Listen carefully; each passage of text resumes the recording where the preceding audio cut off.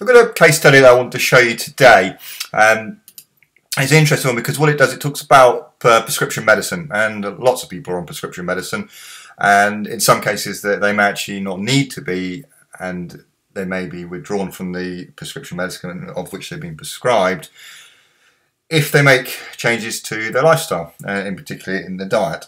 Uh, I've got a chap here uh, named Ian Gerben who she lives in New Zealand, which is completely the other side of, of the planet to where I'm based here in the UK. Um, he was born with a, a, rare heart condition in the late 70s, underwent open heart surgery um, to correct a birth defect. And it, one of his cases where the condition was repaired but, but not sort of cured as such. And, you know, it was a bit of a, a bit of a uncertain outlook, shall we say, as to how well he would do, um, certainly through adolescence and into adulthood and then through a later life and what may happen. Um, really where Ian got to is the point where his health started to deteriorate as he pushed into his late 20s and he was referred to cardiology through an adult uh, congenital cardiologist uh, because of his condition. Uh, and the intervention was made there, and they were prescribed him a drug called furosemide, which is, is a diuretic. And what that drug does is it starts to play around. I show, show a picture here actually. It starts to play around. This is inside the kidney. It's called a loop of Henle, and this is an ascending limb of the loop of Henle here. What this does um, essentially is it starts to play around with the fluids, and it, nature does a very good. It works very well on its own. That's the point I want to make.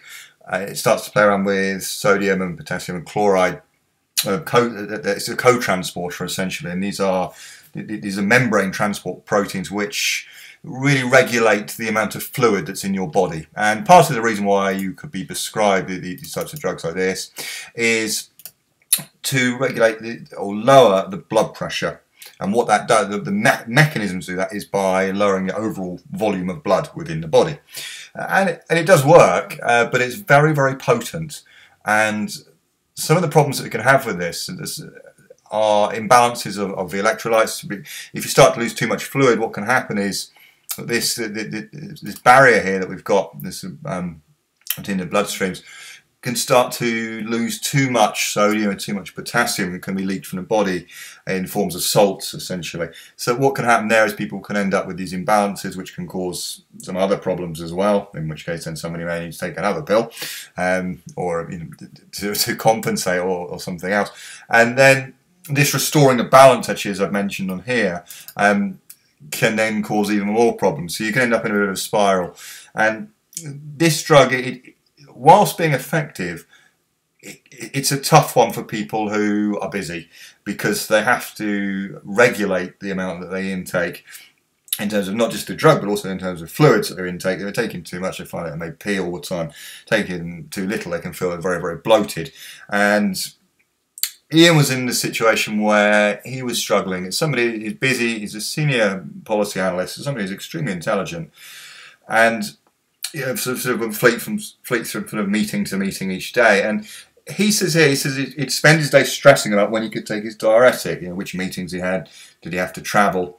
You know, he didn't know he was going to need the bathroom an hour after taking, you know, pill or not, how many times he'd need to go. And that's not a sustainable way to live. He's put on here his record was about every 10 minutes for, for nearly two hours. And that's that's terrible because that's going to leave him extremely dehydrated and uh, it's awful in terms of physical health but also mental health as well because of the reliance. And so what happened ian got in touch uh, with me and we, we, had sort of a conversation it was mostly sort of sort of via email initially um, we went through and said, okay, well, you know, let's have a look at this. You know, the, the cardiology side of things is more complex. So it's not really masses that, that I could get involved with there at all. Um, but I looked at a lot of the evidence to show well, why would somebody be prescribed this? What could they do to reduce the requirements for this drug and, and possibly even get them off, off this drug altogether? It, it, because it was affecting his lifestyle so much, we said that let, let's go ahead and look at the most sensible option for this.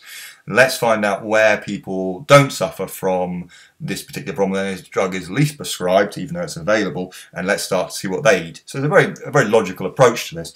And we went down that route, and we, said what we did is we, we implemented a diet um, on the back of some coaching and advice on, on, on how to go and actually shop. So rather than saying, here's a diet and here's some actual recipes to go and make, it was a bit, a bit more a bit more complicated now. We thought, well, because he's got five children, he's busy, he's traveling a lot for work as well, it's not going to be easy to say each day you're going to have the same meal. Whereas if you're living from home and commuting each day, perhaps if you have a very rigid routine, that's easy to say, well, you're going to have oatmeal every day for breakfast. Not so easy if you're traveling. So really within it was about putting together some guidelines and saying, right, let's work on that and then coaching him in how to order food and out, ask for foods in different places, hotels, canteens, these sorts of things, or on business lunches. Um, and that worked extremely well uh, as, as a diet for him. And it, it, adapted also to his home life, which was really, really important because Ian was saying he was getting home and feeling absolutely exhausted, which is no no way to, to live at all. It shouldn't be like that, uh, particularly not somebody who's you know in the, in the early mid thirties. Um, what Ian was saying here is that just this is 18 months after we started talking to each other. He says he doesn't need to take the diuretics anymore. Simple. We got him off medication. He says he's free from the stress and the planning and the inconvenience. So that was the stress of not knowing if he'd have to go to the toilet five times that you know the next hour or whatever, or whether he'd feel extremely dehydrated, or whether he'd get, sit in a meeting and be bloated and, and exhausted, or whatever it might have been. So we, by removing that was fantastic. That was a direct result of changing the diet that he was eating, and that came about through the education he received. In his words, what he's saying is he's saying, "I'm liberated," and I think anybody could offer you know, applause for that because that really that's giving somebody their quality of life back. And he, says it took 18 months because he made small gradual changes, and that, that was his choice. And I said, well, whatever works for you. And I said, you know, look, if you're if you're super busy with work and you're super busy with family and everything else going on, then it's up to you. you. You can do this however you want. And that one of his things that was important to him was I don't want to put a constraint on this. I don't want to say this is going to happen in 20 days or two months or whatever it's going to be. I just want to do it and see how we get on. I said, okay, well, let's do that. Um, and there is no timeline with these things. For some people, that they want to do it. Some people isn't. And people talk about goals and targets and things like that. And that's fine. I can do that. And for some people that works. But some people have got so many other goals and targets going on in their life that to introduce another one can, can lead for failure. And so that's why we agreed to do it this way.